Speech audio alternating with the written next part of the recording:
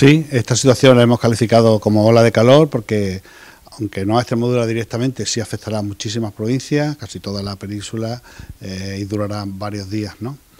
Eh, esta ola de calor es un poco distinta para los extremeños porque una masa de aire atlántico está también intentando penetrar en la península, que bloqueada por este aire africano, y en este, en este choque de masas de aire pues nos va a afectar más la masa de aire atlántica y por tanto eh, las temperaturas que esperamos son en torno a 40, 41 grados para hoy, mientras que otras zonas, más en el centro de la, de la península, en Córdoba, Jaén, en el Valle de Guadalquivir, pues se ven un poco más afectadas y ahí tenemos los avisos rojos con temperaturas que pueden alcanzar ser superiores a, a las citadas.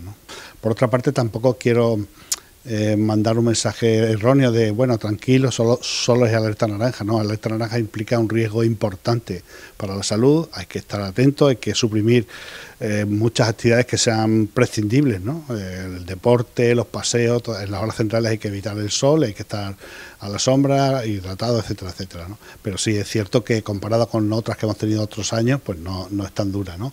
O digamos comparada Extremadura, esta misma situación comparada Extremadura con otras zonas más afectadas hoy como mañana, que será el Ebro y zonas de Albacete, pues no, no es tan dura, cierto.